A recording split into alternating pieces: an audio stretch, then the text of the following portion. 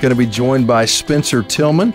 And Spencer is the uh, co host of uh, CBS's College Football Today. You may remember him from his time at the uh, University of Oklahoma. He is a Sooner, uh, a 1985 national champion, was a captain as they defeated Penn State in the Orange Bowl, was drafted in 1987 by the Houston Oilers, where he played for a couple of seasons, then went over to San Francisco and won a Super Bowl with them and finished his career here. You talk about in your book um, crucible experiences, these transformational experiences that produce fundamental changes in the way we view uh, our life and our place in it.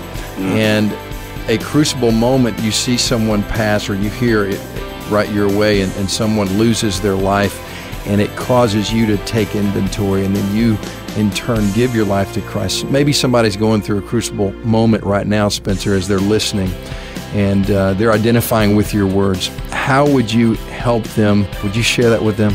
Yeah, real quickly, great uh, question in framing that up. I would say the crucibles, first of all, they don't necessarily have to be negative. We just have right. to mention a couple that are.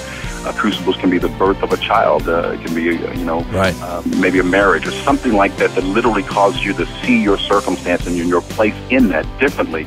And as a result, behavior uh, changes. You know, we, we have red zone experiences all the time, and I define red zone very simple. You know you're in a red zone when the need to achieve an objective is immediate. The obstacles between you and those objectives are formidable.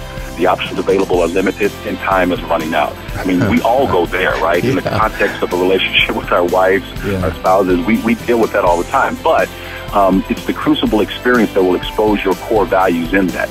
If we go through those tough times or positive times, those are red zones what determines whether or not we score is what we do while we're in those crucible experiences. I think it was Epictetus, the great Greek philosopher, said the crisis doesn't make the person, it merely exposes what's already there. Yeah. So what, what those things do is they, they, they are like a um, those porcelain vessels that, that they used in the early medieval times to kind of alchemists use them to try to create gold. And we could, we know that metallurgically you, it's impossible. You can't do that. The crucible of life is, is like that bowl. When you put life in all of those circumstances, relationships, tragedy, that is the crucible. That is the cauldron in which our lives and God is shaping and molding us. And we have an opportunity to be shaped as a result of that. And if we emerge out of those red zones, uh, then we have experienced a crucible experience. The distinction being one changes the way you see your life and, it, and, there's a definable difference between how you operate moving forward. If you just get beat up while you're in that red zone, you just had a red zone experience. We all right. go through those circumstances and situations. So if you're in those spaces, I would just simply say, God is speaking to you. Yeah. You've been invited into a miracle. And it's an opportunity. And that's what the crucible experience is. And when you're participating in it, the output of that is a true closer walking relationship with God. And that's that's ultimately what we're all looking for in life.